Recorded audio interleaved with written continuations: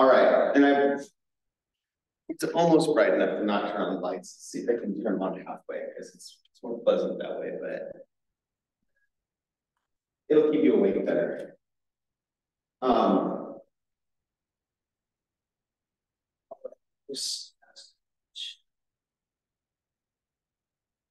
I had a random chemistry topic to talk about.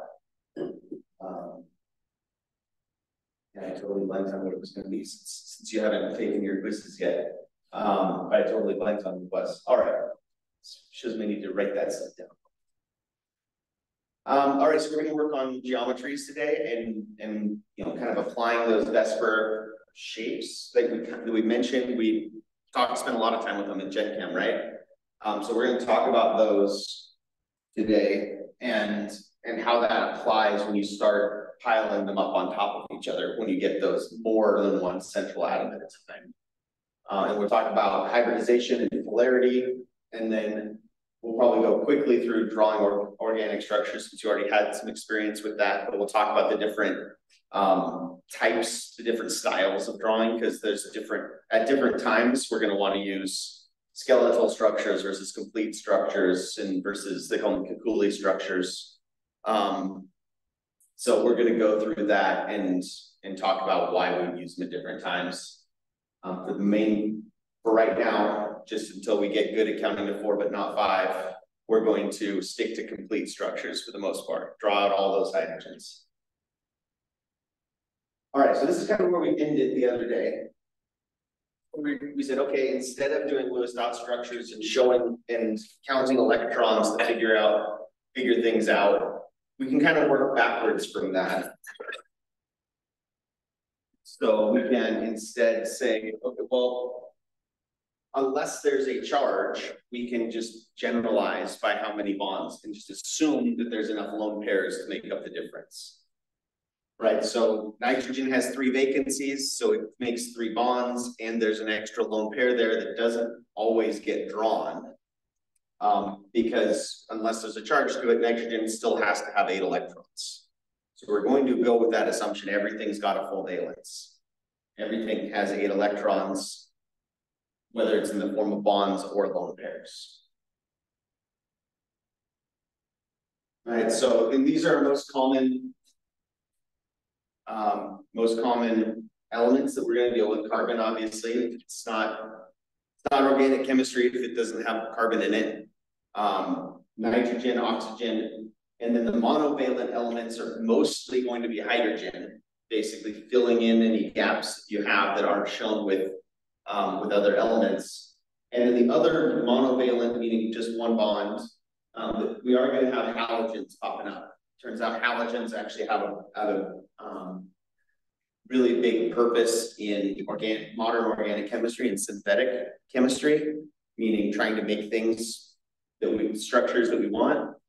Um, and they actually, they play a really big role in medicinal chemistry uh, because it turns out if you take some molecule that has some biological activity, like a neurotransmitter or a hormone, um, you don't always want to just administer a neurotransmitter as a treatment. Like we don't get, um, we don't treat ADHD by just giving people injections of dopamine.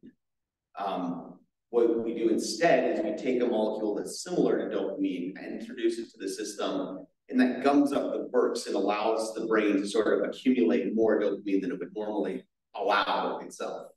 If we just gave the brain straight dopamine, its brain's really, really good. Our cells are really, really good. It's just like what's this doing here? It shouldn't be here and getting it back to where it was. So it would work for, I don't know, you know, 30 seconds or something like that.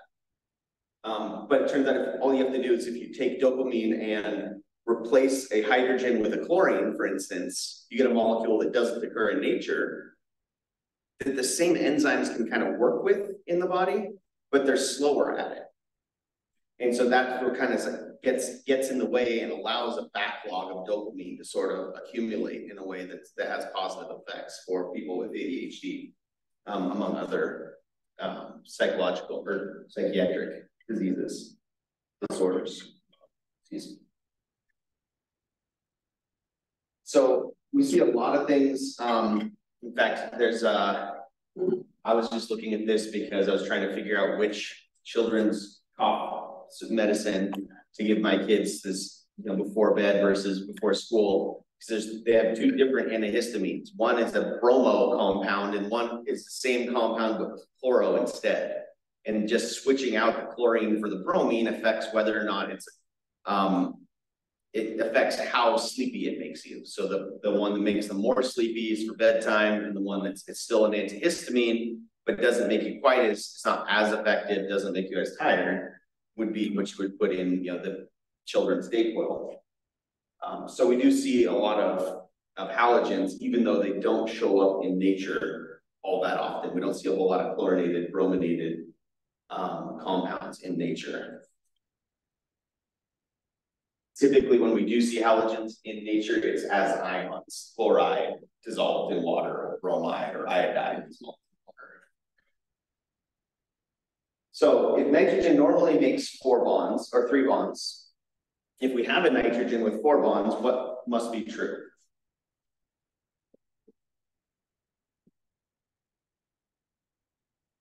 So when it's, go ahead. Not isotope, because isotope doesn't have anything to do with electrons, right? Ion, it could be a different ion, yeah.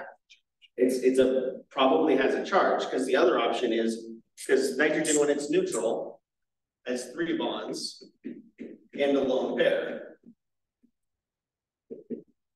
If we add an extra bond to that,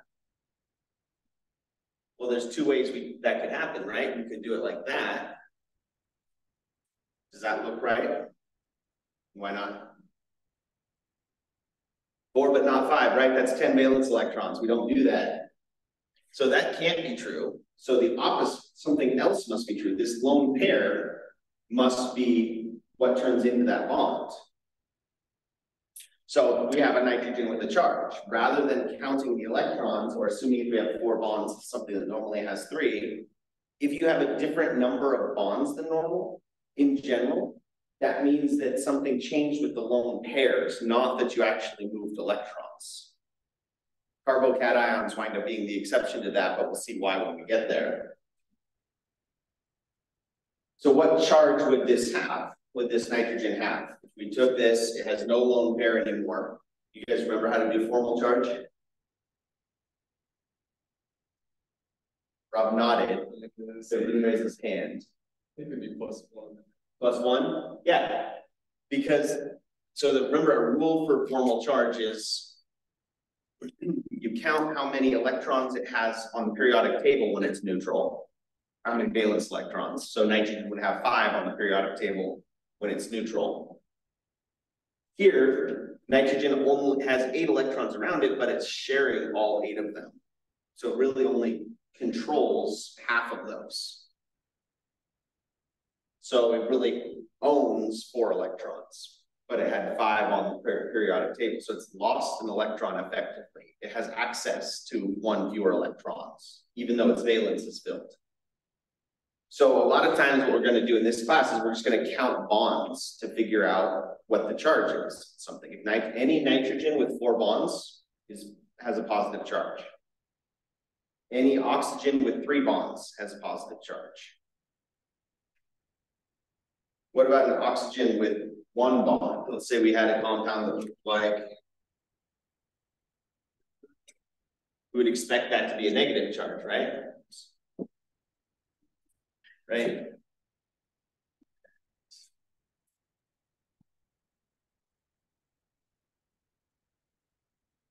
So if we had a compound that looked like this,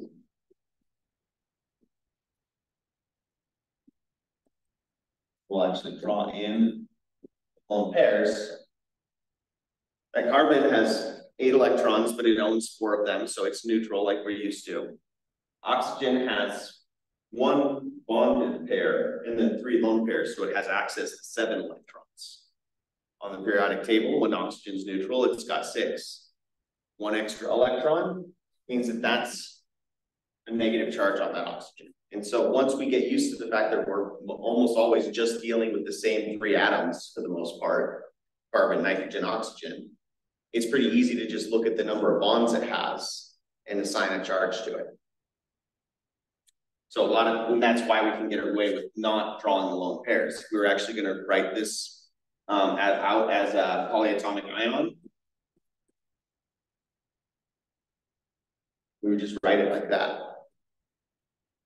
Once you know the rules and you know our frame of reference and how we define charge and everything, this has all the same information that this one does. If we, as long as we're all working from the same assumptions, full valences, um, and never more than eight electrons on a, on a n equals two.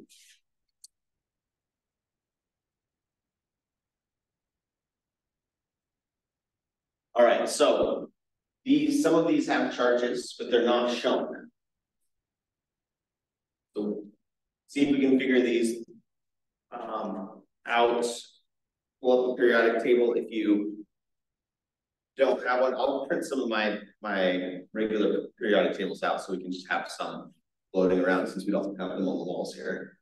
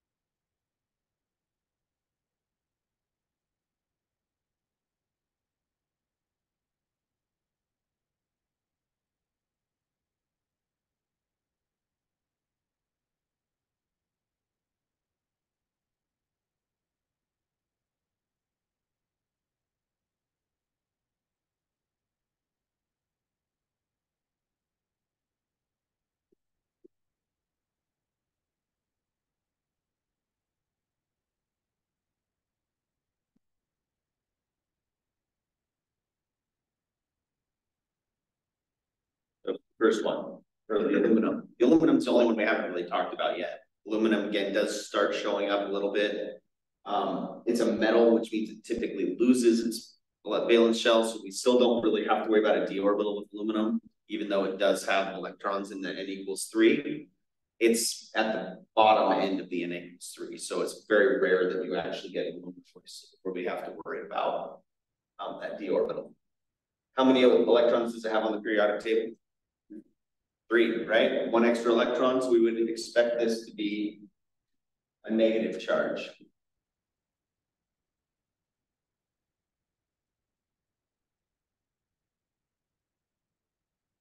And we've got an oxygen with three bonds in the lone pair, more bonds than it wants to. When you're still getting used to it, when you're counting these bonds, I always go back to Okay, oxygen normally makes two bonds. If it's got three bonds, it's sharing more than it wants to. Therefore, it has less electrons. Right? So sharing more than normal means that's an oxygen with a positive charge. Which makes this one really easy to settle too, right? Anytime you see an oxygen with three bonds, positive charge. How about over here? Got a couple choices to look at. yeah, nitrogen's only got two bonds, normally it makes three, so it's not sharing as much as normal. It's sharing less than normal, which means more electrons, negative charge.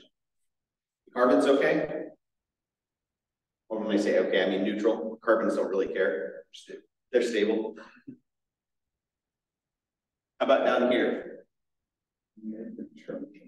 Yeah, it's, not sharing as much as normal, so it has extra electrons. So that's a, call that a carbanion. Makes anion means negative, right? And so we just throw car on the front of things to, to indicate if it's a carbon with a negative charge. And this one that I threw up here, this actually breaks our assumption. Um, when it comes to everything having a full valence. If you have a carbon that doesn't have a full valence for whatever reason, and only has three bonds. It's sharing less than normal, but it also doesn't have those lone, that lone pair that it controls on its own, right? So. Positive charge, so when we do get a carbocation. If we, we don't, um, in, in order to get around having to draw the lone pair every time. You have to make sure you label your carbocation as a positive charge because that, along with telling us it's a positive charge, it tells us that's a carbon that, that has an empty spot in its valence. Um, which winds up being a really reactive molecule, but it's also a really common molecule because we have something like oxygen attached to the carbon. Like let's, uh, draw it right now. Um, if we had an oxygen attached to it and that oxygen carbon bond gets broken by something, um, it could just be the oxygen leaving because it's it's unstable and so it just so it takes off. The electrons are always going to go with the more electronegative element, right? Because if we've got carbon and oxygen sharing toys and oxygen's stronger and oxygen goes home, who's taking the toys? Oxygen, right? And so you wind up with when you break those bonds between carbon and something more electronegative than carbon, you wind up with carbocations, which then immediately turn around and react with something else because they're unstable like this. One other point I was going to make here, I'm sure it'll come back to me later. All right, um, the other, I guess the other bullet point is just, this is one of the reasons why we're gonna be careful. We're not gonna draw lone pairs all the time. A lot of times when we draw like reaction mechanisms, when we're showing how a reaction actually happens, we'll show the lone pairs. Um, but a lot of times we just don't bother because writing a charge is all you really need. If you write the charge, that from that you can work backward to get how many lone pairs are where.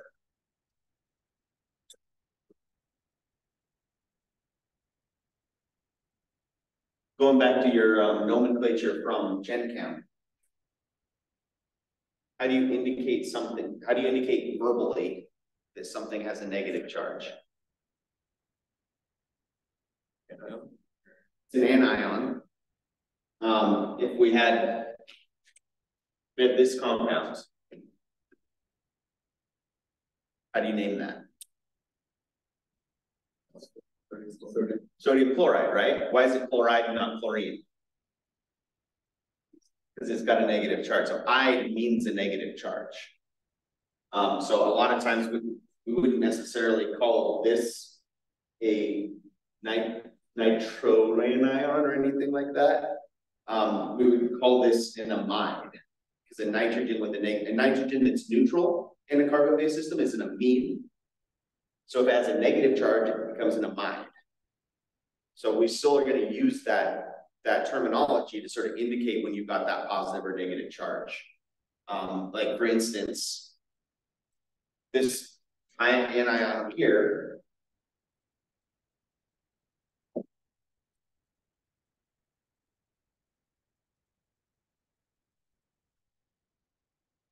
if we just had it written as written out like this, I don't know where's the, how would we name this? Anybody get any guesses? This is kind of a weird one. Name it like it's a covalent compound, even though it's got a negative charge on it. So hydrogen is usually positive, right? When it's attached to anything more electronegative than it is, right? But hydrogen is the dividing line. Basically, what makes metals versus non-metals is, is it more electronegative or less electronegative than hydrogen? So hydrogen attached to an aluminum, hydrogen is more electronegative than the aluminum. So we'd actually name this as aluminum hydride. And this actually winds up being a really, not common is the wrong word, but a really useful compound in organic chemistry, lithium aluminum hydride, um, because it's really, really reactive. Hydrides in general, if you put them around anything that's more electronegative, hydrogens basically give those electrons away for free. So you have anything that wants more electrons around. And you put it with something like lithium aluminum hydride, it's gonna basically start making new hydrogen covalent bonds so that it can share those electrons that hydrogen has, that it's not very good at holding on to. And which does also remind me, the other point I was gonna make. Do we ever have to worry about, when do we have to worry about hydrogen having a charge? It's not the octet rule when we're talking about hydrogen, right? It's just got that first energy level. So, how many options are there for the number of electrons hydrogen can have? Yeah, it can be neutral. If you, um, or it can have a positive charge. What's a positive charge on the hydrogen look like? No electrons. Yeah, no electrons, no bond either, right? Because if it makes one bond, that's neutral. If hydrogen has a positive charge, it means it has zero electrons. And then the other option is two electrons for hydrogen by itself, and that's how you get hydrides. And they tend to react really quickly because you put it with anything like an oxygen, and oxygen's going to snatch those up. And so when we when we draw our charges like this, we want to try to put our charges next to the element that has the charge. But if it happens to be written and you're not sure, oh, if, is that on the oxygen or the hydrogen? We can usually assume that if the hydrogen's attached to something, it doesn't have a positive charge. And the only time it has a negative charge when it's attached to something is when it's attached to a metal. Right, so hydrogen, for the most part, is not going to have a charge once it's in our molecules. All right, so we played around with some of this in lab the other day. Um, there are going to be lots of times in OChem where it's not enough to just have the, the molecular formula for a compound. It doesn't actually tell us what it is. Um, because in organic chemistry, in, in chemistry, but it's really, really obvious in organic chemistry, you can have the same ratio of atoms in the in the molecule without them being arranged the same way. So if we look at these two, so that's what's called a constitutional isomer. A constitutional isomer means that you have the same atoms. That's what makes it an isomer. So iso is the prefix, right? So is isotope changes the number of neutrons you have in a nucleus. Isomer means we have the same atoms, but arranged differently right? So dimethyl ether versus ethanol, they're both C2H6O. But they behave very differently. Ethanol's boiling point is about 78 Celsius. At sea level, dimethyl ethers is minus 23 Celsius. Fun fact, they you can actually buy dimethyl ether at the at the, the pharmacy over the counter. They use it for, they package it for treating warts. Used to be if you had a wart, you'd go to the doctor and they would pour liquid nitrogen on it until it froze off. Now they actually package dimethyl ether in a little, it's kind of like an aerosol can um, that you just eject a little bit of that into a little like bubble that you put on your skin. And because it boils at minus 23 Celsius, that's pretty cold. That's cold enough you can give yourself frostbite with that or freeze a wart off with that. It's not as effective as, as liquid nitrogen that boils at about nine, minus 200 Celsius, um, but it's a lot easier to sell over the counter um, and not worry about people you know, really damaging themselves. You really can't get yourself into too much trouble at minus 23 Celsius compared to minus 200 Celsius. Um, and when when y'all transfer and get to go take chemistry other places, um, play with the liquid nitrogen. It's really pretty safe if you know basic lab safety, and you can do cool stuff like, like freeze an orange and then take the orange and drop it onto a concrete floor from about here, and it shatters. Um, we used to catch lizards with it too, um, because you can. Uh, lizards are cold blooded, right? If you drop their body temperature, they slow down. So all you have to do is find a lizard with a cup of liquid nitrogen. You throw the liquid nitrogen on the lizard. The lizard just like slowly starts trying to run away. Just walk over and pick it up. Um, with the lizard. I'm sure it's not pleasant, but they, they run away just fine afterwards. All right, so one of the big skills from first quarter OChem is gonna be how do we draw relatively stable compounds? They're all gonna have different stabilities a little bit. But anything that's got full valence and, and the right number of bonds for all your atoms is gonna be relatively stable, close to the same stability usually. So one of the big skills we're gonna learn here is how do we think about putting these pieces together differently? Um, in a way that, that allows us to look at all the possibilities. So we're gonna work through these. Um, and after I give you a few seconds to think about, think about them, I'm gonna tell you how many isomers there are for each of these. And then we're gonna work through what they are and how we can tell if they're the same or not.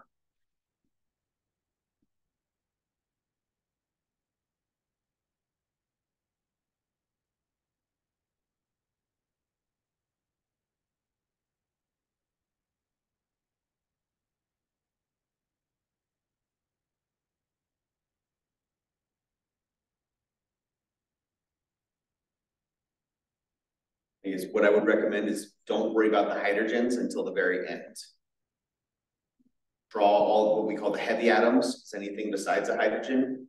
Arrange all the heavy atoms and then see if adding, filling all the valence stuff with hydrogens gives you the right number of hydrogens.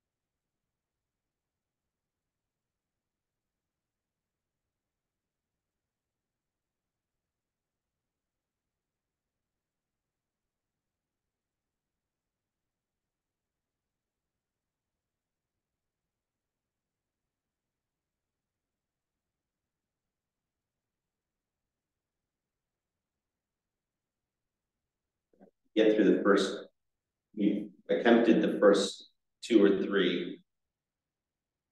If you start to get bog down the other ones. We'll go through one, two, and three, or A, B, and C. And then that might give you some insight how to tackle D and E.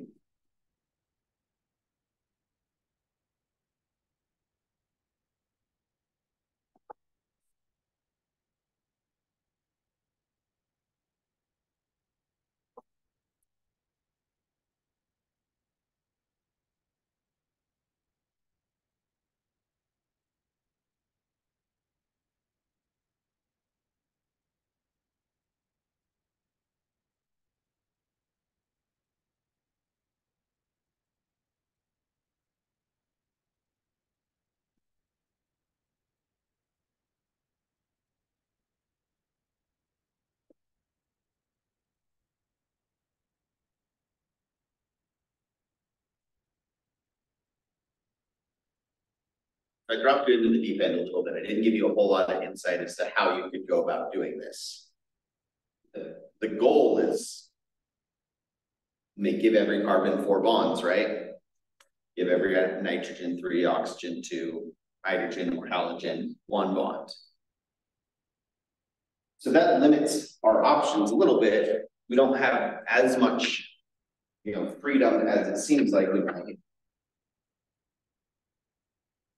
because there's only so many ways we can arrange three carbons. Basically, and, and this is kind of a good general approach for all of these is figure out how many different combinations there are for your carbons and before you start worrying about where to put a chlorine or where to put an oxygen. Right, because we think of the carbons, this is because carbon is the most common element we deal with in OChem, carbons are kind of kind of be the backbone of any of our molecules. They're going to de determine the parent molecule is going to be determined by the carbons and how they're arranged. So if we start by arranging carbons, then we can just fill in gaps and see how many possibilities there are. So for this first one, how many ways are there to arrange carbons? Or the first one. So we could fill in the rest of these with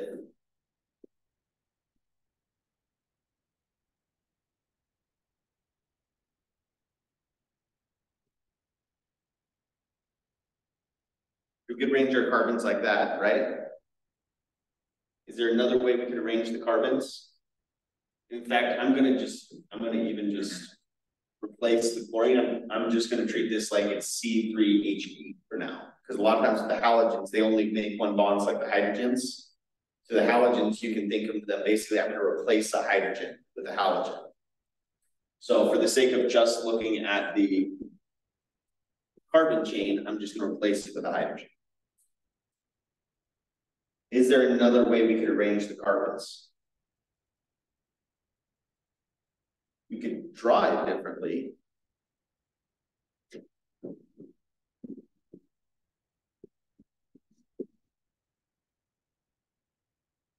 That seems like that would be different, except that we have to remember that these are three-dimensional objects, right?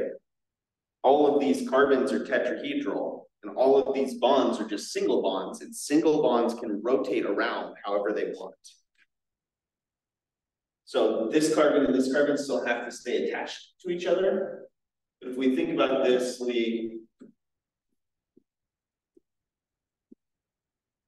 draw this as though it was a tetrahedral shape because it is. If you think about taking these three atoms that are attached to this middle carbon, you could take them and rotate it however we want, right? And If we rotated it, that would all of a sudden make it look like this carbon was down here and the hydrogen was up there. And then it starts looking just like this one.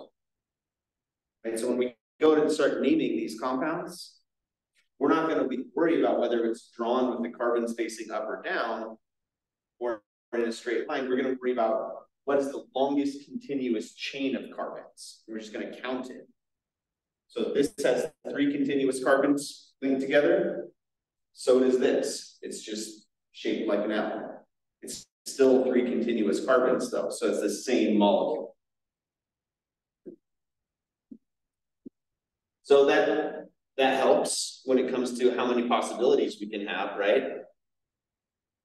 Three continuous carbons, no other way we can, we can change that.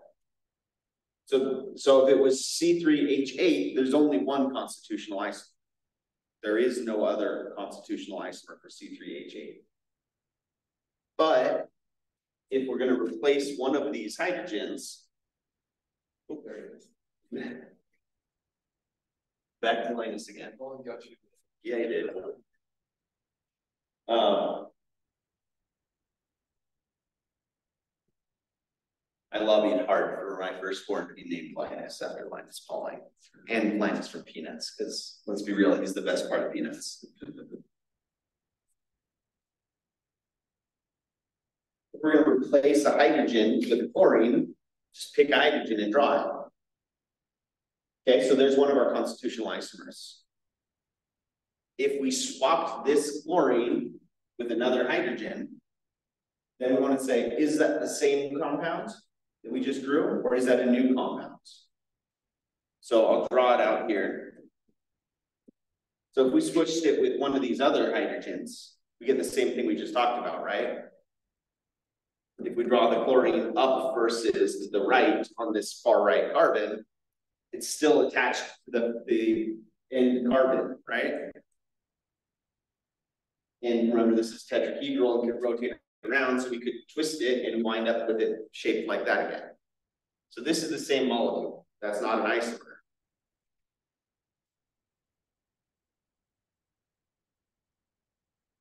So what could we do that makes it a different isomer? We can put it on the middle carbon. Now there's no way we can take this and twist it around to get back to here. In order to do that, we actually have to, would have to break the chlorine off and reattach it to a different carbon. So that's two. Our second constitutional isomer, if we're drawing the complete structure, then we would just go through and finish up, add all of our hydrogens. And it's a good double check to make sure you did everything right. The first thing everybody's gonna going to start doing is you're not, not gonna count the hydrogens anymore. Because that you always just fill in with the hydrogens, but it's a good way to double check, one, that you didn't do something dumb like put five bonds on the carbon. And two, that it actually is an isomer is you better make sure that there's still seven hydrogens once we fill it all in.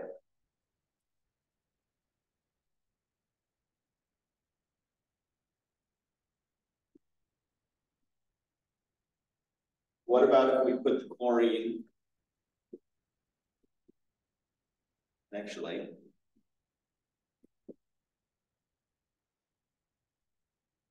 So traditionally chlorine, when it's drawn as a um, on three-dimensional structures is drawn as being green. Different elements have different standard colors. Oxygen's always drawn as red, nitrogen's usually drawn as blue. Carbons are black, hydrogens are white. Chlorine is usually drawn green. Any guesses why? Chlorine gas is green, yeah. Um, so bromine and iodine are both usually drawn as purple because they're both kind of purplish reddish. Is this an isomer? Why not? Just flipped. Yeah, these are three-dimensional objects, right? Let's not get tied down into thinking about them from left to right. All you have to do is take this molecule and flip it like a pancake, and you get your chlorine over on this side. So that's the same molecule. So our two isomers for A are your chlorine is attached to carbon one, the end of the carbon chain, and your chlorine attached to carbon two, the second carbon in the carbon chain. Carbon attached to carbon three is the same as attached to carbon one. We're just counting from the other side then.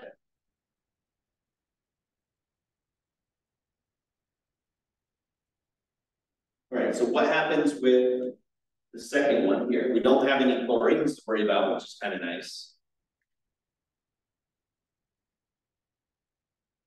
What possibilities do we have?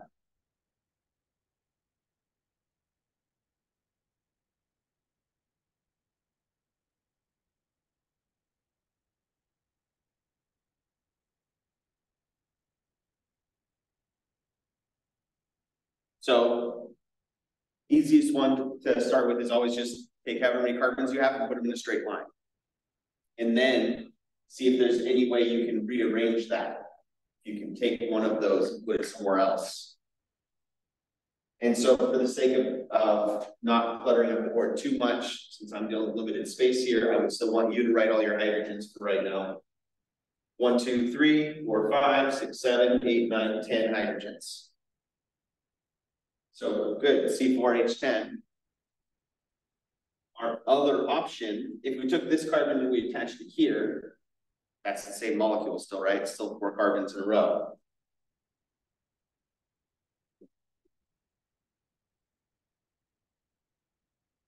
That didn't change anything. But if we attach here, now our longest continuous carbon chain is not four in a row anymore, right? And if we change the longest continuous carbon chain, if it's not the same number anymore, it has to be a different molecule. It has to be an isomer. Or a different molecule at least. If it has the same formula, then it's an isomer. And because now all of a sudden we've got three carbons in a row and one carbon attached to the middle carbon. And so this is usually, this is what we refer to as a branch. I know I already used that term in the lab, but if you circle your longest continuous carbon chain, any carbons that are outside that circle are a branch. They're not part of the parent molecule. They're in addition to the parent molecule. All right, and so we'll see the fact that we can, we had four in a row, here's our parent molecule, for having what's this is called a straight chain alkane. This is a branched alkane with the same formula.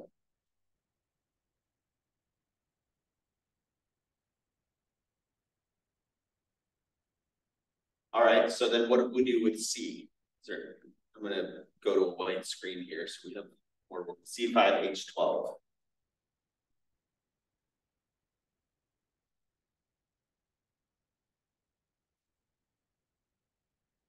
Start with the simple one, right? Simple one's just five in a row. Count your number of hydrogens to make sure. One, two, three, four, five, six, seven, eight, nine, ten, eleven, twelve. Bingo, there's one isomer.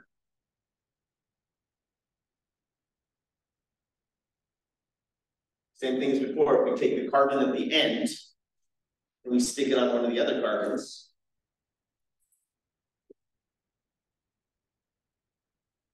Stick it to this second carbon, we get the same molecule back again, right?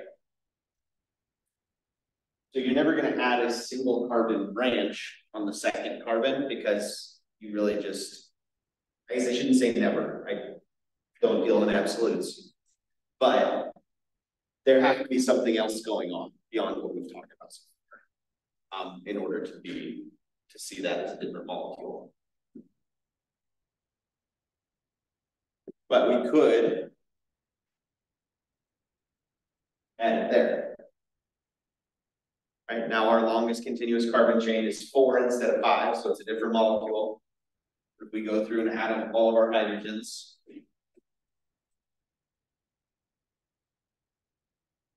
three, six, nine, 10, 11, 12. So we still got our same formula.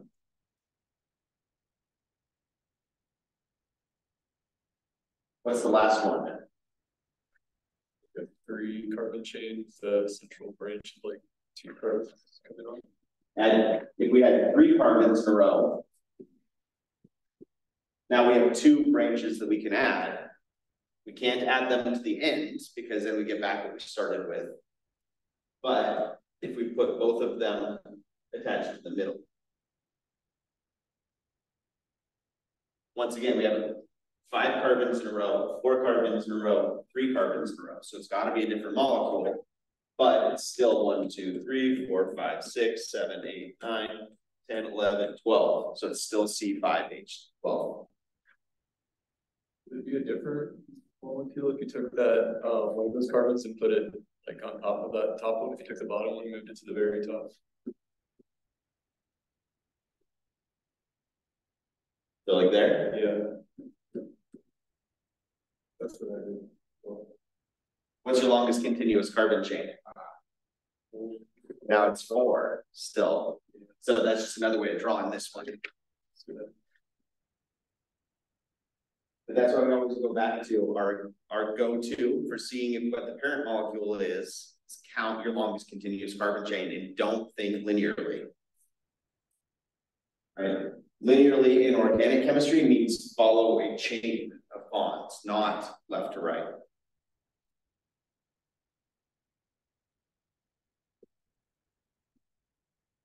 All right, with that in mind, did anybody get to get answers they're confident in for um D and E, you want, now that we've done some practice, why don't you guys look at D and E? Um, and let's say, uh, let's tie that into break, so let's come back at five after. And we'll go through D and E.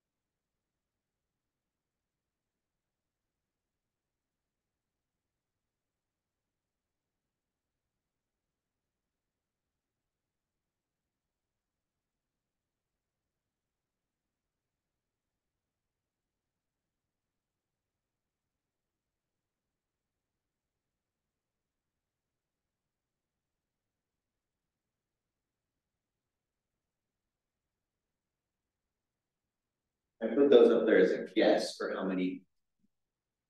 I'm doing this in my head and I am rusty, so if you think that there's more. By all means, let me know, and then we'll figure out if that's just another way of drawing the same one you already had or not.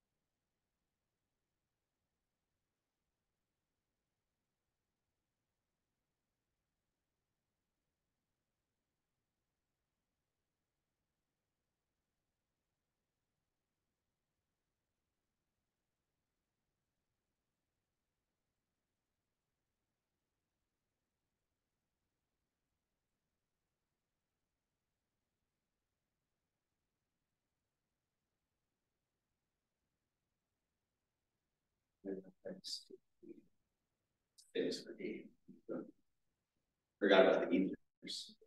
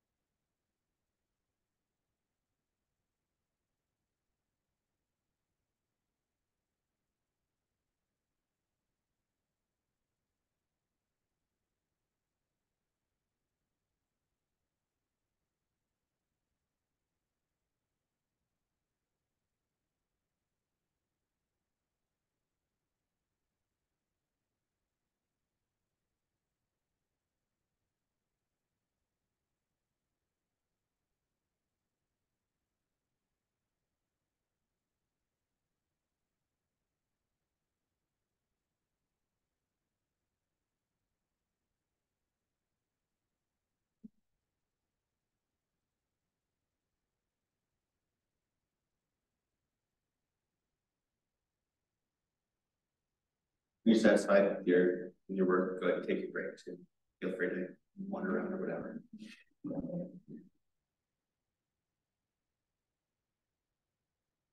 It's really like that. I was supposed to give you a break and do something else for a little bit. Gives, gives us the opportunity. Might have bagels downstairs, if anyone's hungry. Yeah, there probably are some more bagels and there will be some lunch. I don't know what's on the docket for lunch today, but there will be lunch at noon too. Whole first week, breakfast and lunch all week. Don't be late though, they ran out of pizza on Monday. Do you know if they plan on reopening the cafeteria at all? They have to at some point because they're building, they're building dorms. And so that means they have to have food for the people living in the dorms that might not have transportation, right? Um, so I know they're planning on it, but I don't know what the hours are gonna be or what the timeline for that looks like. But we are trying to get, they did put in like a high-end vending machine that has like fruit rather than candy in it um, down there by where the old coffee shop was. Um, and a coffee machine instead of the coffee shop that'll do, you know, lattes and whatnot too. Um, costs just as much as getting a Starbucks, but Yeah. on campus at least. Yeah.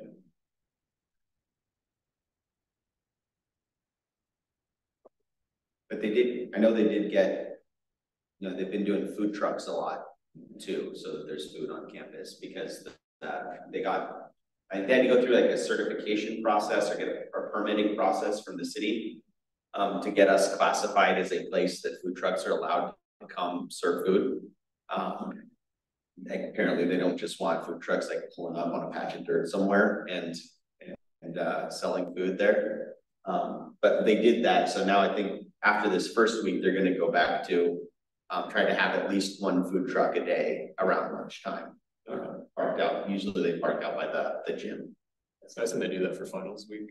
Yeah, yeah, I think they're gonna, they did that most of the summer, and they're gonna try and do that, I think that's gonna be like the best option we have. Um, until we get the cafeteria reopened, is gonna be that, so I think they're, they're trying to do that at least the busiest days of the week, which are Tuesday, Thursday, I think. That's cool, they try to do. Yeah, we're, we're aware that there's no food on campus. Yeah, you gotta eat too, yeah. Right. Especially with the bookstore closed, at least I could count on like the Snickers or something there before, but. Now it's just my packet of ramen that I have in my office is, is my option on campus.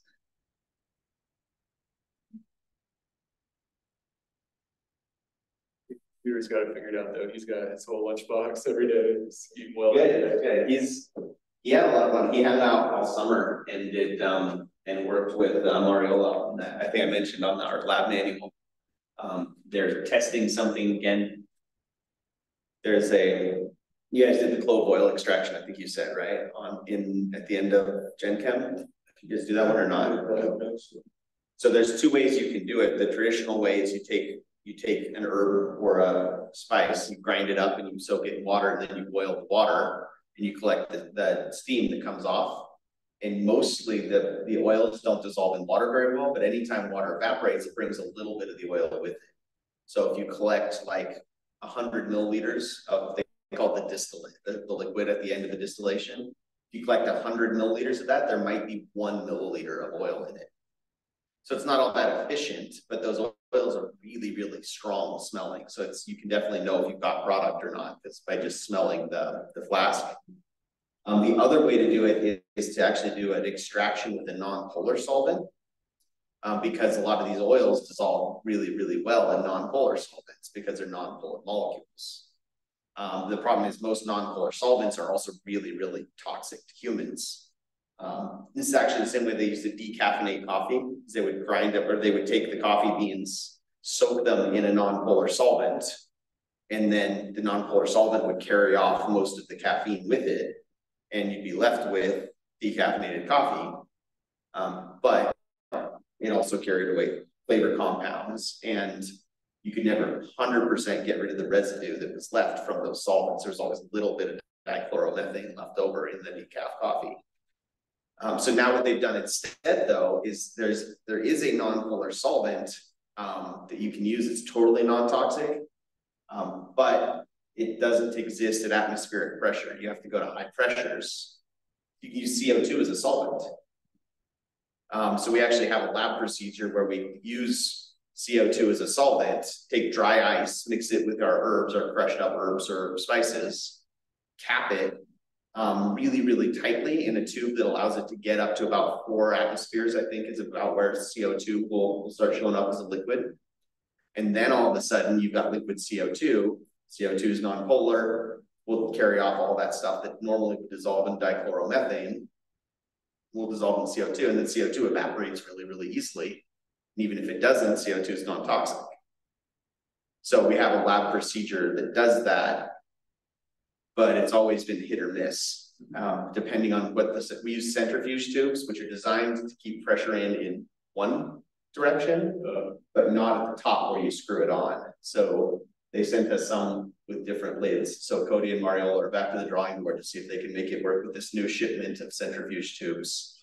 Um, without, because what usually happens with them is they just break, you pop the top off like a champagne cork.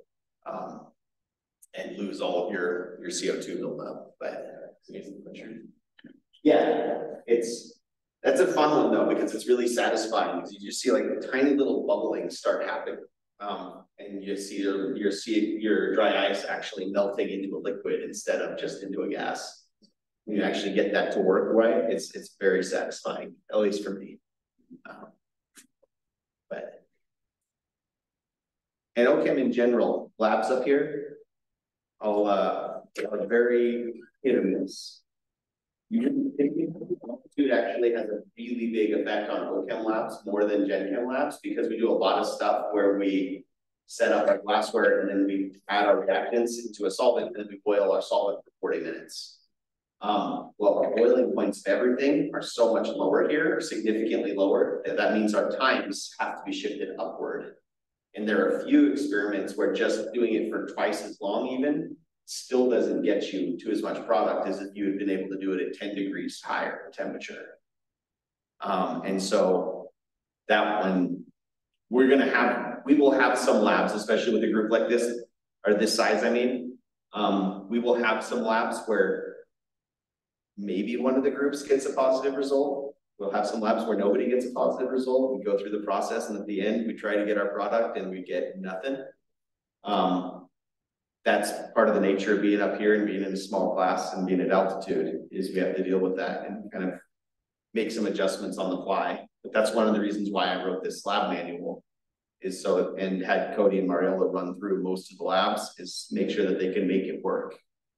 Um, so we can get rid of most of the ones that just don't work for us but I'm sure there will still be a few. There always is. All right. What do we get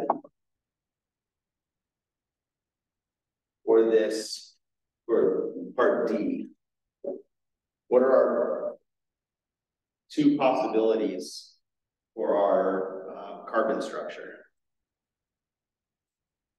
Similar to what we had over here, right? Still four carbons,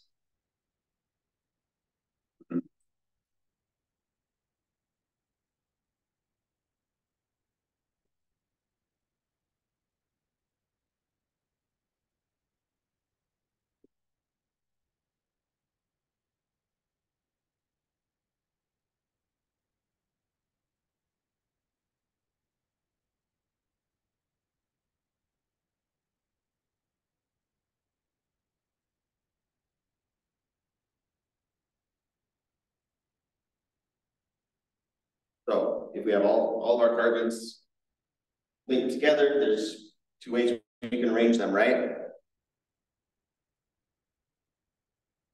What we still have, we have an oxygen. So both of these, we have 10 more bonds, right? So if it was just C4H10, we'd fill them all up with hydrogens and we'd be done, right? That goes C4H10O. And how many bonds does oxygen want? Too, right? So we're not just replacing a hydrogen with something else, we're replacing a hydrogen with an oxygen, which then is attached to something else because we need two bonds, right? So the easiest way to do that is have an OH group, functional group that we call an alcohol, that we'll talk about um, functional groups here in a few minutes. Um, but now we can just treat this this OH group like we did with the halogen, right? An OH group is gonna replace one of the hydrogens instead of a chlorine replacing one of the hydrogens. So with that in mind,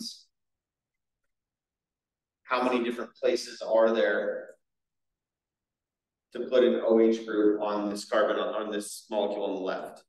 Yeah, there's two, right? We can put we can add an OH there. Or we can add an OH here. Could we put one on the third carbon? Same as second. Same thing as putting on the second carbon, right? Until we start adding other stuff on, these two carbons are identical. We could start counting either end and still they're the second carbon, right? And same for these ones at the end, right? The OH on this last carbon is the same as putting it on the first carbon. It's at the end of the carbon chain either way. So we have two possibilities to have four carbons in a row. What about over here? How many possibilities are there here?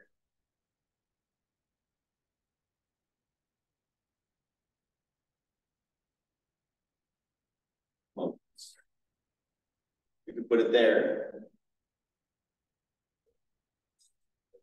Put on the central carbon.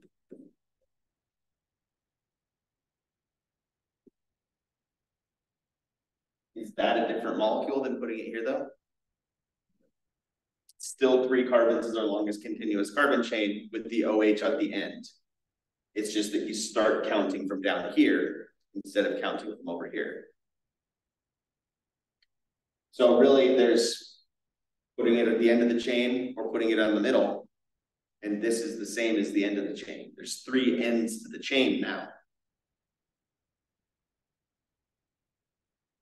So that gets us to four possibilities, right? Those are the four that I was thinking of when I first wrote that number up there. I guess to be consistent, I should change colors for the second one here.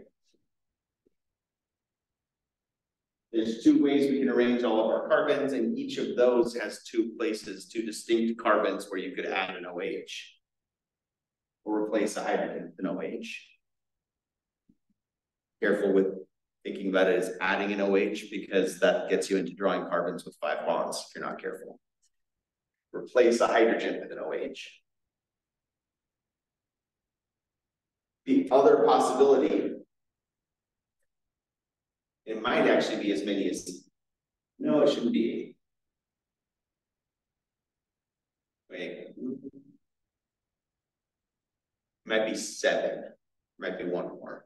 The other possibility is oxygen wants to make two bonds, right? So what if instead of having an oxygen and, and to a hydrogen, if we put the oxygen in between two carbons? It's a functional group called an ether. And ethers, there's a couple ways we can we can do this now. We can say, okay, well, I'm going to draw my carbon chain, but I'm going to put the oxygen in the middle of it.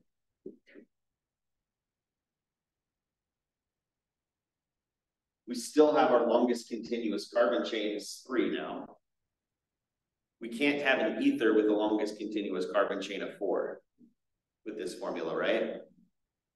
Because you can't break, if, if you're gonna have an ether, if you're gonna have an oxygen attached to two carbons, one of our four carbons at least has to be on the other side of the oxygen, right? One, two, three, four, five, six, seven, eight, nine, ten. So we still got the right formula.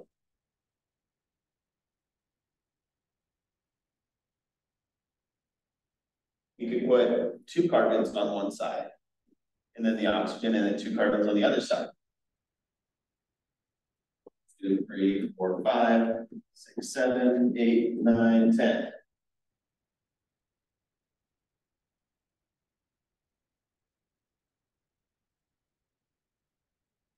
That one's diethyl ether. That's the ether that you think of when you think of ether as an anesthetic or if you're in loathing that's diethyl ether. Um, pretty good at knocking people out for a little bit and dissociating their consciousness from their physical body. Um, not great for surgery because it's really unpredictable how long somebody will be under. So during the Civil War, there was lots of stories of surgeons working on amputating somebody's limb and then waking up in the middle of it. Um, even this is potentially scarier is them coming to and being aware of being operated on, but not able to move their arms and legs. So they're, you know, brain in a jar, trapped. Um, plus, uh, it also causes nausea, and and as my OChem professor used to say when we went through this history lesson, um, vomiting is bad for stitches. So uh, we don't use that very much anymore, at least not with that. You know, we use it sometimes in conjunction with other anesthetics, use it to start the process and then something longer lasting um, through an IV. Is there another ether? Could you do like a three carbon chain and then uh, oxygen coming out of the middle? Yeah, so the way we name these typically is we think of this as the branch. We could take that branch and we could put it on this carbon instead of on the end carbon. So the last possibility, call this a methoxy group. We could put the methoxy group on the middle carbon instead of on the end carbon. So we could have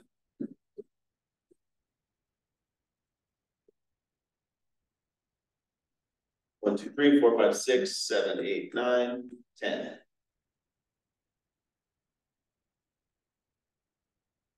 Can't do that with this one though, right?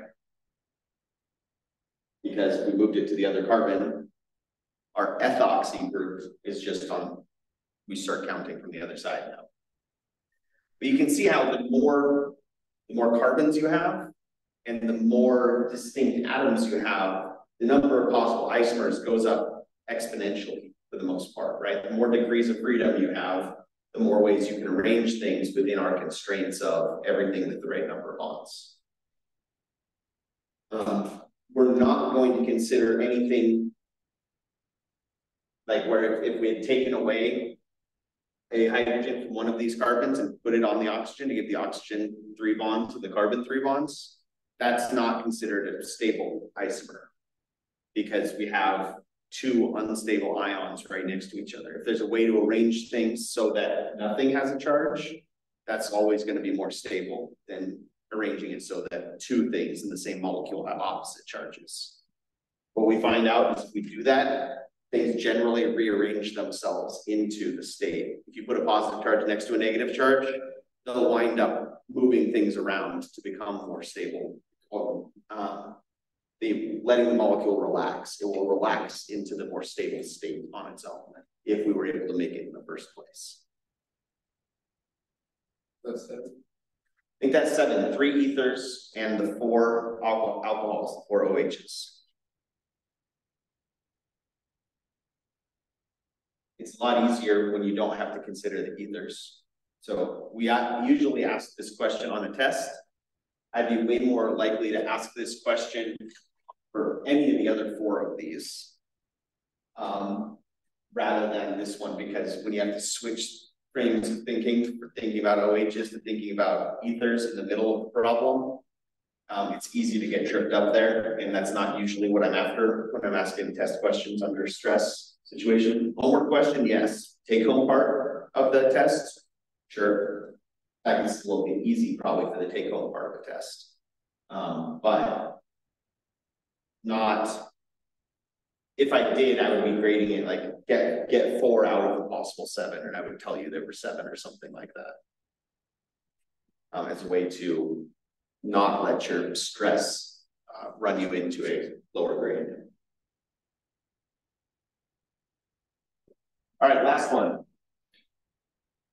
We already did, we looked at three carbons in a row, right? Only one way to arrange three carbons in a row.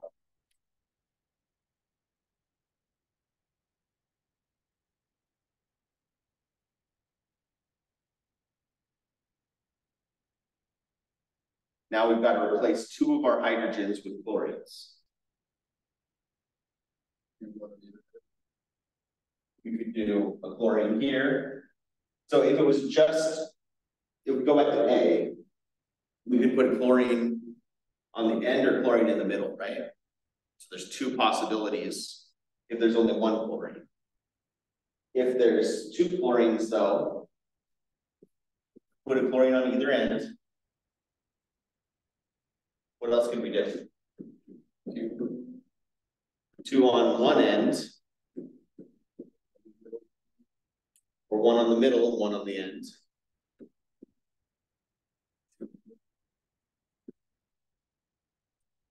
And the trick with this, and we've been going fast on this one, but let's go back and make sure we didn't do anything. So that's six hydrogens. Six hydrogens. One, two, three, four, five, six hydrogens. Where you can get yourself in trouble going too fast is stick both carbons or both chlorines on the middle carbon that can, can't make that many bonds.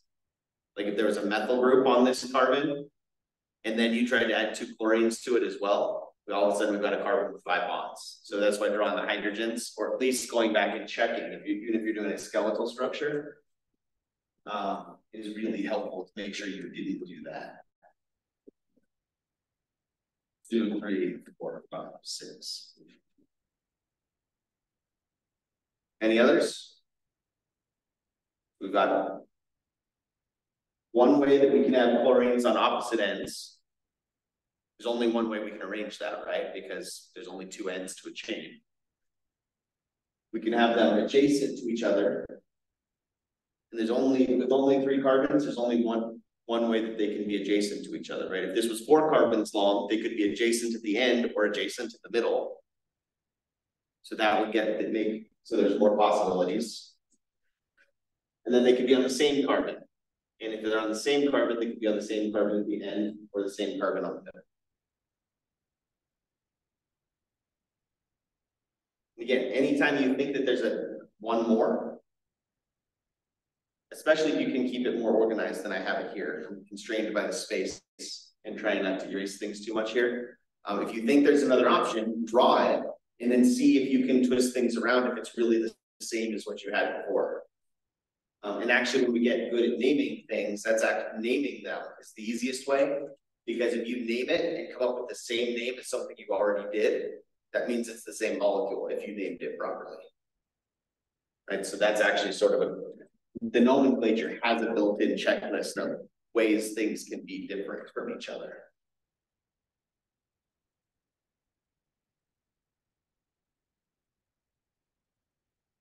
So this should all more or less feel like review, but like a little bit trickier than maybe we saw at the end of Gen Chem, or at the very least like good practice to get back into swing of things, right? All right, we talked about Linus Pauling a little bit. We talked about, he was one of the ones, I think, I can't remember who came up with this graph first. Um, basically, this is a, a chart that looks at um, how stable or unstable something is if you have two hydrogen atoms, so neutral, each one with a one vacancy in their valence shell.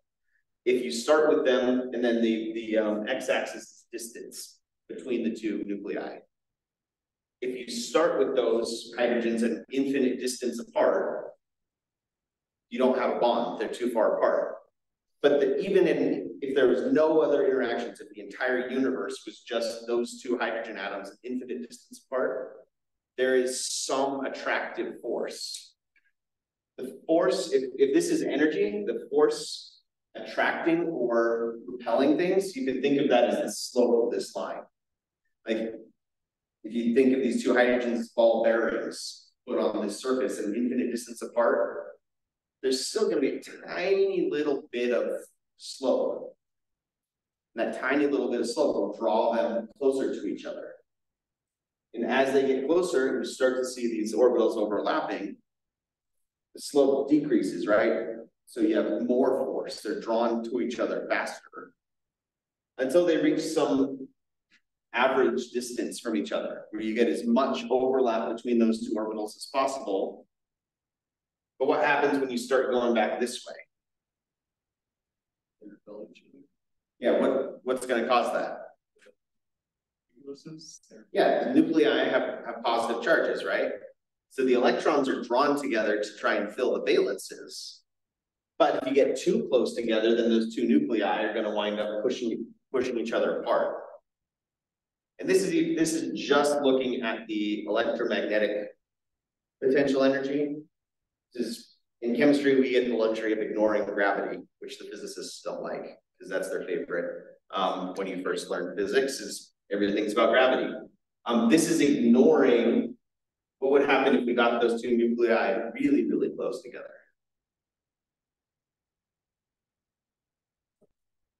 Something's gonna blow up. You get a fusion reaction. Um, if you get those two nuclei so that they actually are touching, then all of a sudden they're not two nuclei, they're one nucleus. Which all of a sudden means this red line, you know, nosedives. Because it actually becomes more stable, especially if there's a neutron involved, but even, even with just the two protons, you can see that. That fusion reaction happening. But again, chemistry mainly concerns itself, especially OChem, mainly just worried about electromagnetic forces. We don't deal with fusion or fission, which are your strong and weak nuclear force, and we don't deal with gravity. So all we're looking at is the electronic forces. Right, so this is what causes covalent bonds is and why every bond is going to have its own unique sort of distance. You have different atoms. If we change the charge on one of these nuclei, this bond length is going to change, right? Because now all of a sudden, if, if there's a plus two charge here and a plus two charge there, those are going to repel each other more than, than if it was plus one and plus one, right? So it's going to have a different bond length. If you change whether we're talking about one s or, um, orbitals or two s orbitals, that's going to change how big these clouds are, right? So every different type of covalent bond is going to have its own unique bond that's based on the charge of the protons in those nuclei and what electron or what orbitals are actually doing the bonding.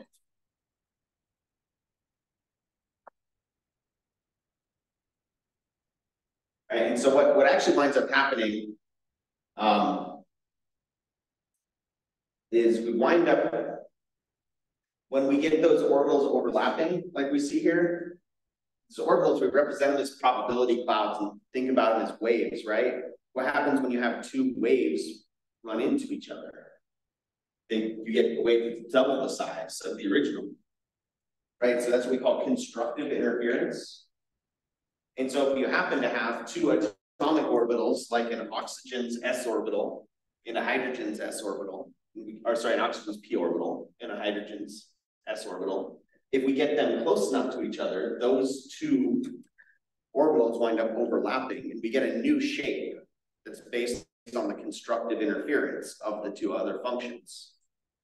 And so orbitals, I also want to remind you, have two phases usually um, where those nodes occur. It switches phase, but don't think of that phase as um, one electron is in the green part and one electron is in the blue part and can't even think of it in terms of positive and negative charge. It is a, a sign that switches from positive to negative, but it's not charge.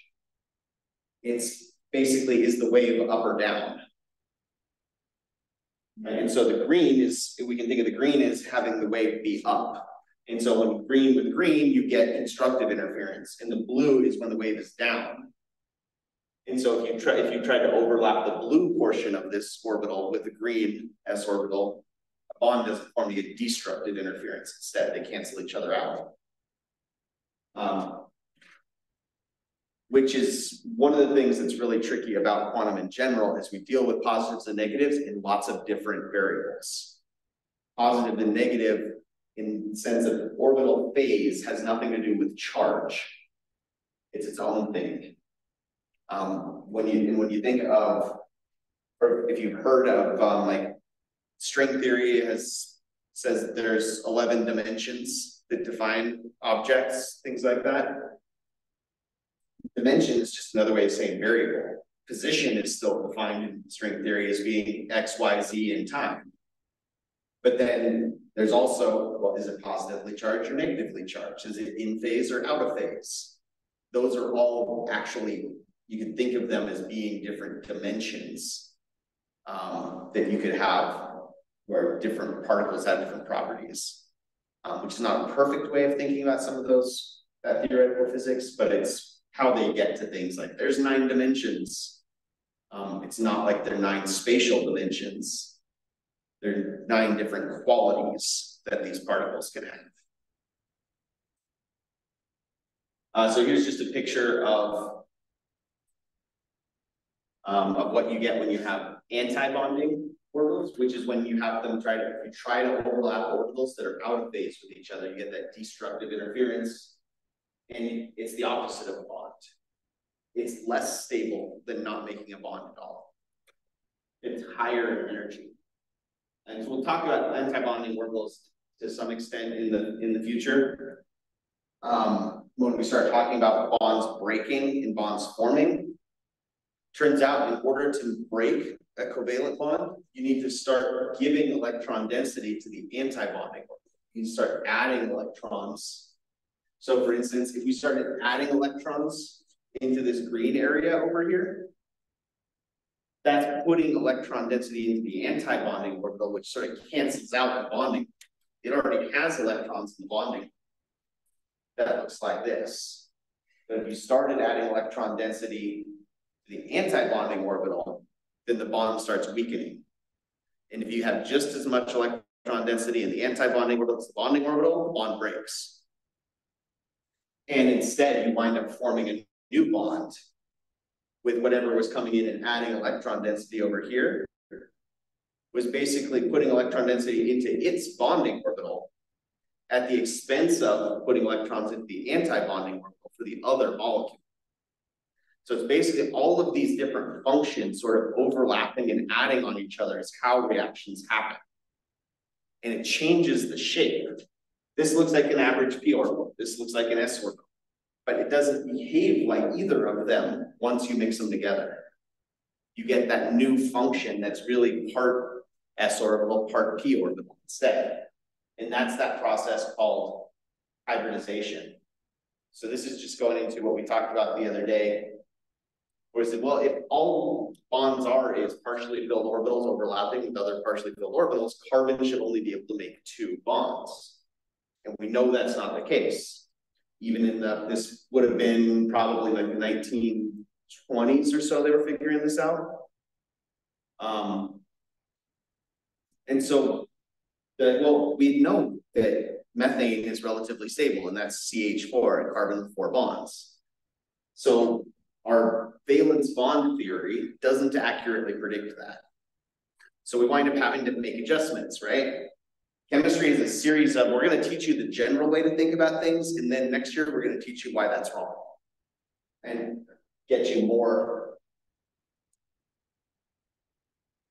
um, more accurate picture as we go. So in order to model that, they added linear algebra. They took these functions, these orbitals in the form of functions, and they basically mixed them together in a matrix. Um, where you said, okay, well, the value that's in this spot in the matrix, that's how much of a weight we're putting on the one S. And the value on this point in the matrix, this is how much of a weight we're putting on the two S. We basically mix them together in different amounts to try and get the most stable possible state. And so that's, that is what those hybridized molecular orbitals are. I found this one too. I thought that was useful. It'd be better if you can see what it says at the bottom, but that's the years of academy training wasted. um, and that will continue. We'll keep doing that. I'll try to set you up for the next level. But it's always going to be a case of, wait, I learned it this way. You're telling me that that's wrong?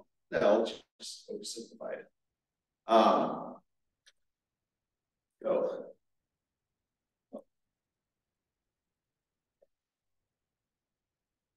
All right, so what you've got instead, in order to get that carbons able to make four bonds, is we started, well, what if we take these p orbitals in this 2s orbital and we mix them together and get that new sort of a function, Where instead of having a two P and a two S, we get all of them the same energy. Now there's four that are degenerate.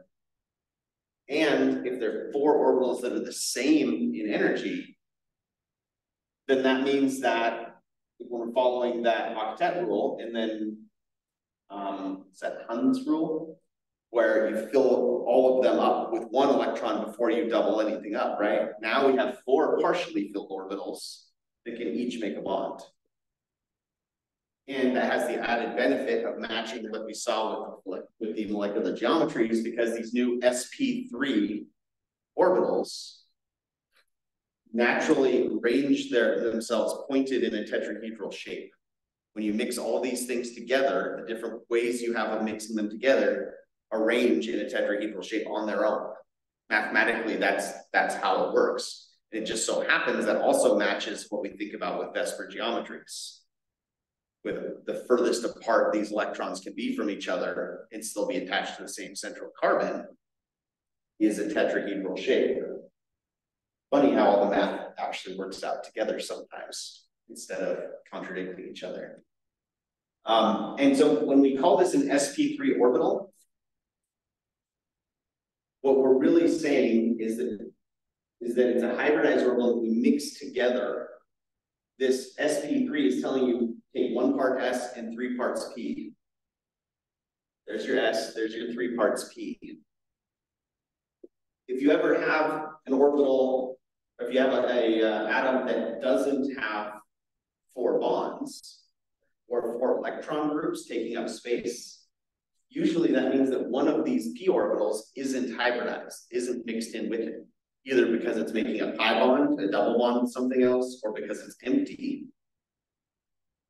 You can wind up with an sp2 orbital. So, for instance, that boron, that BH3 we talked about, and I said, and I said, well, this violates our rules because boron doesn't have full valence. Right? There's just not enough electrons for BH3 to have full valence. Well, that means that instead of having its third part of its p orbital mixed in with the s orbital, that empty p orbital just stays there empty. If we're not going to use it, why mix it in? So anytime you get only three electron groups around your central atom, it's an sp2.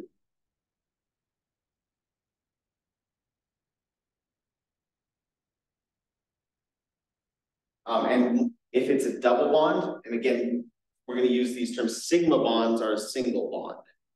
It's just this, what we normally think of when we get these things overlapping with each other.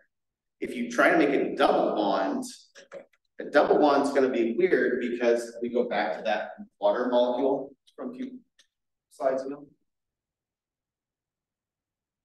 If you try to make a double bond, and this is what your single bond looks like, you have to have a physical space to put those other two electrons that are making the double bond, right? So they can't just be in the same space as the single bond. So sigma bonds look like this. They're rotationally um, symmetrical. They're just, the electrons are in between the two nuclei. Your pi bonds are what you get when you make a, a what they call higher order bonds, because it's not just for double bonds. And that's when you get something that looks like this. To make a pi bond, we need unhybridized orbitals, unhybridized p orbitals in order to make that pi bond. So when we think what we think of as a double bond is actually two bonds that are not the same as each other. A, a double bond is a sigma bond that would be right between these two carbons, where the marker is, plus the pi bond that's above and below. And in order to make those pi bonds, you need unhybridized p orbitals.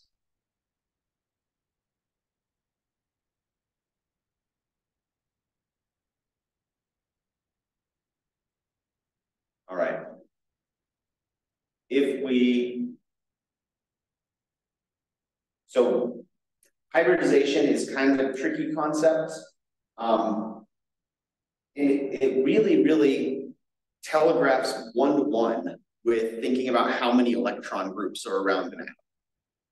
If you can count the number of electron groups around an atom, just from the formal, or from the um Lewis dot structure, just like you did when you did all your VSEPR geometries back in Gen Chem.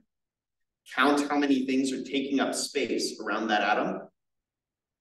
And that tells you the hybridization. If there's three things taking up space, like this carbon, has the other carbon atom taking up space around it, and then it has a hydrogen taking up space, and it has a hydrogen taking up space. Really, it has that the sigma bond to each of those two hydrogens. Three electron groups means that we have to mix together three orbitals to get there. One s orbital and two p orbitals.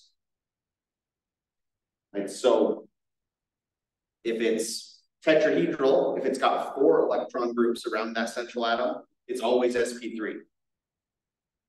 So sp3, tetrahedral, four electron groups are all different ways of saying the same thing.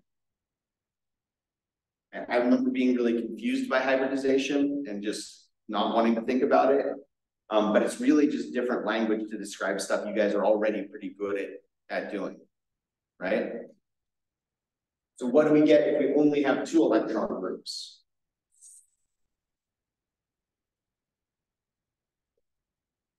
So let's say we have carbon dioxide, this Lewis dot structure looks like this. How many electron groups are there around each of the oxygens?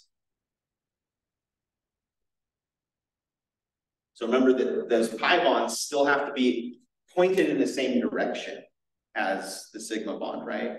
So for the sake of how many things are taking up space around the, the um, oxygen, the sigma bond and the pi bond count as one group. They're bigger than the other two groups, they'll take up more space physically, but roughly speaking, it's all in the same spot.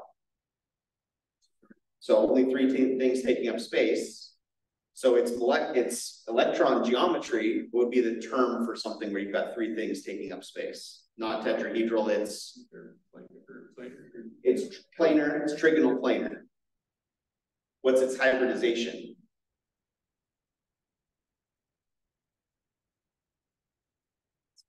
It's got three sigma bonds, it's got three um, things taking up space, so it has to have three bonds or three orbitals mixed together. One part S, two parts P. And you're never going to have a hybridized orbital that's P3 without the S because you're always going to mix in the lowest energy orbitals first. So it's going to be S and then however many P pieces you need to get to the number of electron groups. So for the oxygens here, that's sp2 and sp2. How many electron groups are there here? Just two, right? So what's the hybridization going to be here? We don't need this one, we don't even need that one. It's just SP. And people, people don't usually say SP1, but nobody's gonna really correct you. If you say SP1, everybody still knows what you're talking about, but yeah, they might chuckle a little bit. When I say, oh, that's a chemistry undergrad. That's okay, there are worse things to be. All right, so what is the hybridization on any hydrogen atom? Just S. They don't hybridize. They only have one s orbital. Right? They don't have any p orbitals they can mix in. If we had something that had five electron groups, like if I can do this off the top of my head, uh, SF4, leave its structure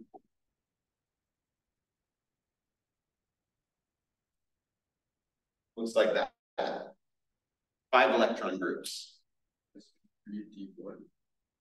We have to start mixing in a d orbital. We only have three pieces of a p orbital we can add.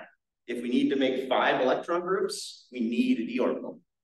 This is once again going back to you will never see a carbon with five things around it because there's no d orbital we can mix in to make it happen.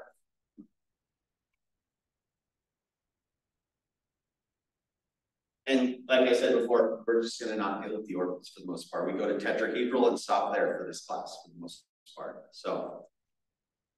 As long as you're hanging on to SP, SP two, SP three.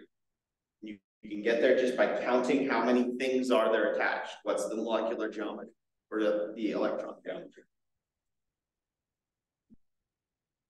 And it also means every heavy atom, every atom that's bigger than a hydrogen is gonna have a hybrid, its own hybridization in a molecule.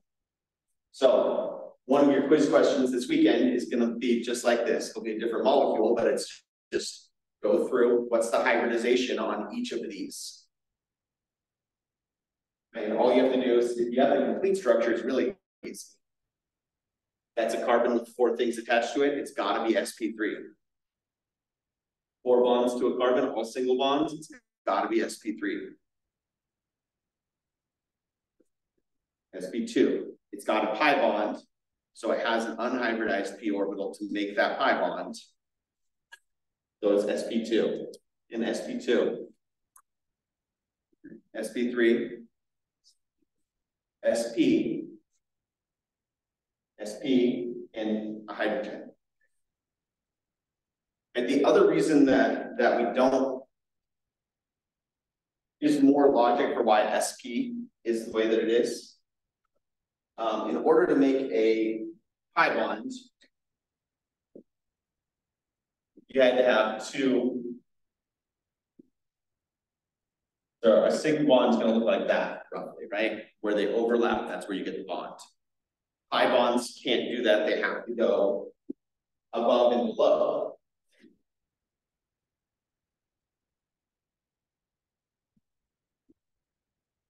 So you can make a double bond is going to look like this. Really, these sort of smush together. You wind up with something that looks kind of more like a, a canoe shaped or like a, a balloon animal balloon between the two. If you're going to make a third bond, it's also a pi bond. But it can't be here. It can't be up and down has to be in and out. Right? And so that's why it's SP is now to make a, a second pi bond on the same carbon, we need another unhybridized set p orbital in order for that to happen. Otherwise, we don't have a way we can make this shape. Right? So it's just one more say, way of saying it's going to be SP because the other two pieces of the p orbital are occupied making that second or first and second pi bonds. Um, and that's why we, we refer to them as sigma bonds and pi bonds rather than talking about it's a double bond, like it's one object.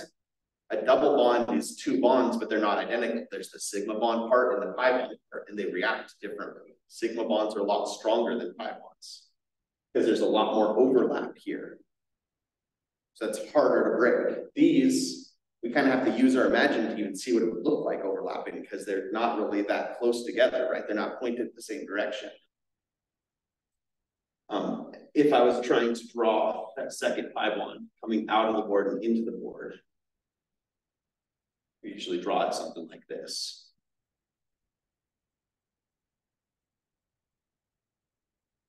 And so we wind up with, again, that's other shape. And that's really messy really quick, right? Which is why having multiple colors is helpful drawing this or showing it on a three-dimensional computer program where we can click and drag around.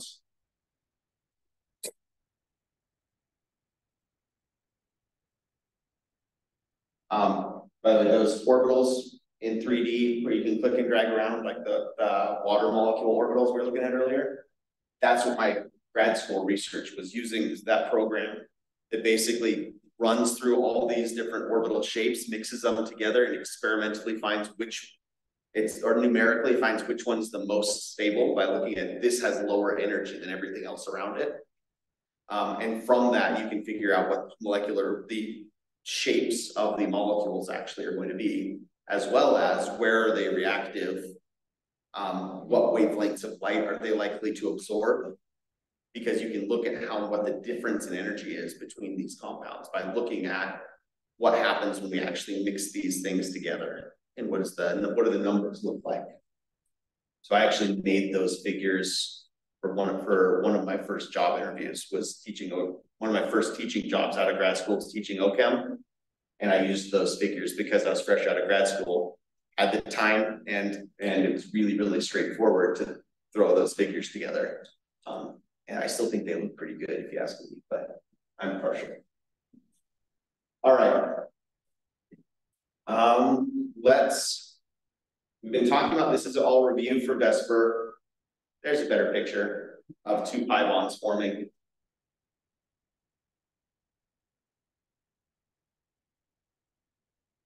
Yeah, all right, so if we make a pi bond, would we expect the carbons to be the same distance apart as if we just had a sigma bond? Would they be further apart, closer? Probably closer, why? More attraction, more sharing of gotta get these p orbitals close, physically close enough to each other that they, they can actually overlap to some extent, right? So in order to make that pi bond, we actually have to compress that string in between these two carbons a little bit more than it normally would be. Um, and so this is actually what the electrons look like, the valence electrons look like for this acetylene. You can see why acetylene burns so well and so easily is because those pi bonds are just not that stable. It's really, really easy when you expose it to oxygen and a little bit of heat to get them to release all of that energy very quickly. And when you do that with pi bonds, it also winds up producing enough energy that you break carbon-carbon bonds. Because carbon-oxygen sigma bonds are stronger, are more stable, because the oxygen is more stable and it's more electronegative. So acetylene's a really useful gas for a number of reasons, partly because it burns so completely and so hot because of that.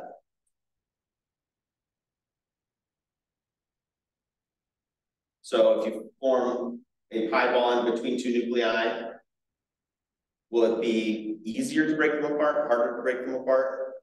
Same. The sigma bond is about the same, but now you have to put in, whereas before you only had to put enough energy to break the sigma bond, now you have to put enough energy to break the pi bond and the sigma bond. And the pi bond, yeah, it's not as strong as the sigma bond, so it's not like it takes twice as much energy. But it takes like one and a half times as much energy. It's a little bit more than that, I think it's like one point eight times as much. You get 0.8 times as much energy stability out of a pi bond compared to a sigma bond. Um, but you can actually count number of pi bonds. So for this case, going from one pi bond to two pi bonds, the sigma bond is roughly the same strength to break. Both pi bonds are the same as each other. So that one actually does map to not double, but the difference between a single bond to a double bond and a double bond to a triple bond, those distances are the same. If that makes sense. Um, and we can actually look at this, one of the textbooks, not the textbook we're using this year, but the uh, older textbook that I was using has these bond lengths. You can see as we add more pi bonds, they get closer together. And the bond, total bond energy goes from three sixty-eight kilojoules per mole to six thirty-two, so not quite double. And six thirty-two to eight twenty. The dis, the difference between these two and these two is what I was talking about. Those ones are roughly the same. Not identical, but close. Does anybody know what this is? Armstrong? Angstroms. You almost got there. It's just a convenient distance. It's not nanometers. It's nanometers is meter times 10 to the minus nine. This is meters times 10 to the minus 10. So basically it's a tenth of a nanometer. But it's really convenient for chemists because most covalent bonds are right around one angstrom. So rather than dealing in tenths of a nanometer or 100 picometers, we just define our own length unit as, as an angstrom. All right, um, electronegativity and polarity. Trying to think. All right, so I want to talk real quick. We're almost done. Uh, we didn't get to talking about functional groups, um, but it, it is on the quiz. And I'm going to leave it on there because it's something that's pretty straightforward to learn what some of these different functional groups look like and identify them. It's like flashcard level, and so it's open book, so you'd be able to look these up pretty easily. But basically, all a functional group is, is when you have a certain group of atoms that share a common characteristic. So for instance, this molecule and this molecule and this molecule all have different formulas, different boiling points, everything else. But what they share is they each have a carbon-carbon pi bond. And a single carbon-carbon pi bond is called an alkene. That is a functional group. So it's really, it's the fact that you've got a carbon-carbon, a single carbon-carbon pi bond makes it a, this distinct functional group. Having an OH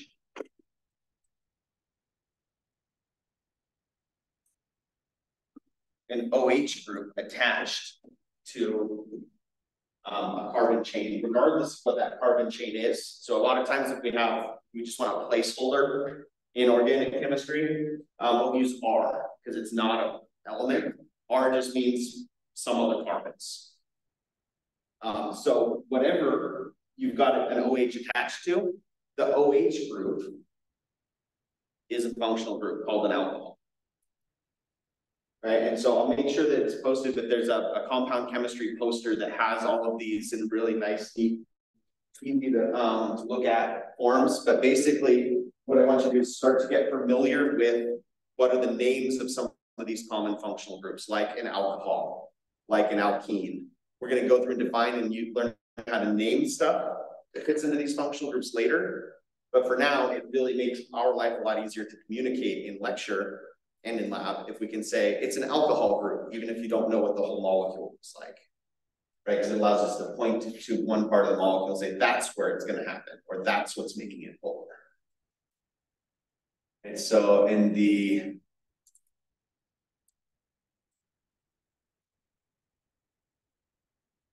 the poster that I'm talking about, um, basically the way that the um, the quiz question is going to work is it's just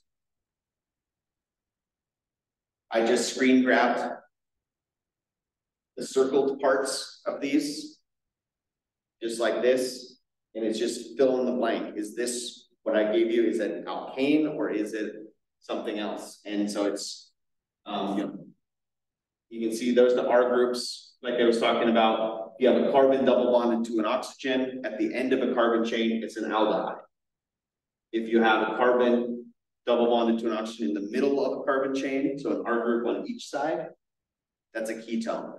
So it's just a matter of using this figure and sort of, it's just matching to what the figure is. And we'll talk about properties of all these. We'll gradually add in, basically every functional group has a chapter in the textbook. And it's like, okay, ketones, here's how you name them, here's how they behave, here's how they react, and here's how you can make them and then we'll add, and then beyond ketones, there's aldehydes. They're mostly the same with a few differences. We're just gonna keep building. We're gonna start with alkenes and alkynes. Um, and it's actually gonna start with alkanes, which means no pi bonds at all. Right? And that's time, there was one more thing that I wanted to say. Um, just when it comes to these constitutional isomers, uh, and talking about alkanes versus alkenes, um, the key to knowing if you have to worry about rings or pi bonds when it comes to how many constitutional isomers you can make is how many other things are attached to the carbons. It follows what's called the 2n plus 2 rule. Basically, if you put, if n is your number of carbons, it's saturated, meaning it can't hold any more hydrogens. If for five carbons, you have 12 hydrogens. Right? And you get that by taking that five, plugging it in to the end. Two times five is 10 plus two. Means we can have 12 sigma bonds to those carbons. Every time you add a, a ring or a pi bond, you're going to lose two hydrogens. You're going to lose two sigma bonds that the carbon could make to others, other things. Right. So if, when we're looking at those formulas, the molecular formula itself will tell you if you have to worry about pi bonds or rings in your, in your constitutional isomers, your um, different possible structures. I just wanted to, you may have seen that in Gen Chem, you may not have. Um, but that's just a good rule of thumb. If you look at how many hydrogens there are relative to carbons, that'll tell you something about what possibilities you have. If you see C five H ten, that means either you've got a carbon-carbon pi bond, and what was two carbon hydrogen bonds is now a carbon carbon pi bond. You've lost two hydrogens to make the pi bond. Or you have a carbon, you have a ring structure in there. Which basically you can think of that as basically you took the two hydrogens off the end of the ring. The extra plus two is because the carbons at each end of the ring are CH3s, right? You connect those ends together, you lost one hydrogen on each end of the chain to connect them together. Right, so I don't think that's necessary to know for the, the quiz, but just in case it pops up or if you're reading and you see two n plus two rule, that's what it's referring to. How figuring out how the constitutional isomers work. All right, thanks for sticking with me. Extra couple minutes. Um, have a good weekend. Quiz will go live, I think at like four this afternoon is what it's set for. Um, and I'll be around because I had to cancel office hours. I'll be around for another half an hour. If anybody has any questions, wants to talk anything over, I'll be either here or in my office.